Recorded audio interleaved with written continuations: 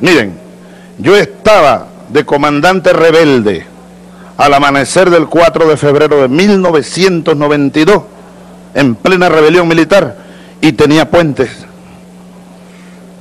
Lanzábamos puentes, porque no queríamos que aquella rebelión pasara a fases superiores eh, de enfrentamiento y que fue lo que al final me llevó a rendirme. Ahora yo me rendí. ¿Tú sabes cómo me rendí yo? Formé mis tropas allá.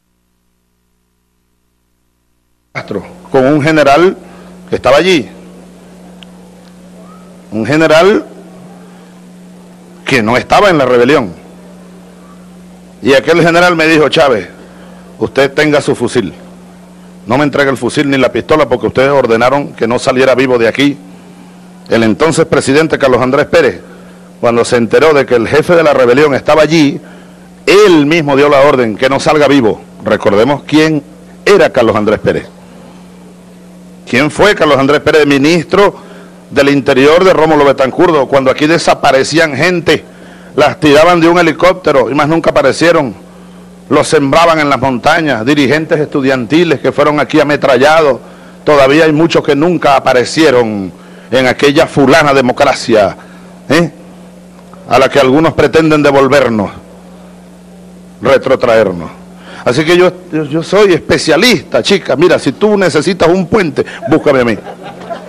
Del que tú quieras, vale. Del que tú quieras.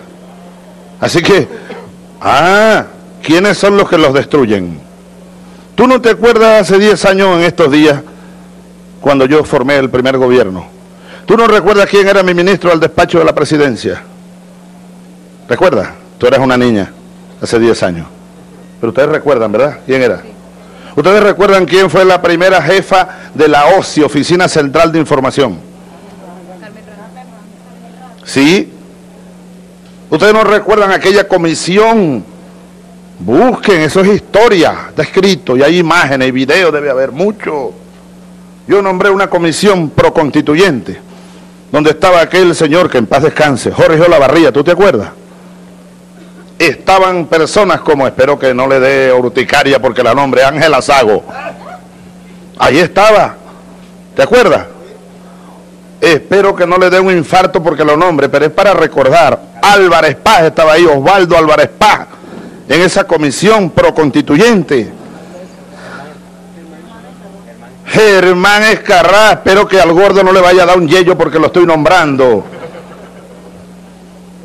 ¿Eh?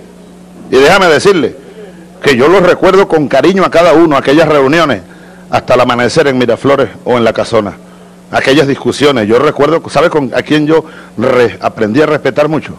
y lo respetaré toda mi vida y tengo sus libros allá que me los regaló casi todos Jorge Olavarría. Jorge Olavarría era un hombre sumamente brillante, ah, intemperante y tal, pero era un hombre muy inteligente. Lamenté su muerte, como la de cualquier venezolano, ¿no? Pero a él que lo conocí varios, varias veces me invitó a su casa cuando yo andaba por ahí errante. Uh, varios desayunos y su esposa nos hacía un desayuno y hablábamos del, tema constituyente ¿eh? y de muchas otras cosas. Debatíamos, no estábamos de acuerdo en la mayoría, pero debatíamos con respeto. Así que yo termino. Lanzo puente, ahora que no los destruyan. Al gobierno de Estados Unidos, ayer me, me preguntaron, ahí va el puente. Ahora, si ellos lo dinamitan, allá ellos. A todos los sectores. Ahora, hay una, una sola condición yo pongo respeto a la Constitución, respeto a nuestras leyes, respeto a la voluntad de nuestro pueblo, porque yo no llegué aquí para traicionar la voluntad del pueblo venezolano. Yo no tengo previsto hacer un pacto con la burguesía para apuñalear al pueblo. No. Aquí hay un proyecto, aquí hay un plan y aquí hay un juramento. Pero me declaro un lanzapuente y seguiré haciéndolo. Es una de mis tareas. Hay otros que los destruyen. ¿Mm? Muchas gracias.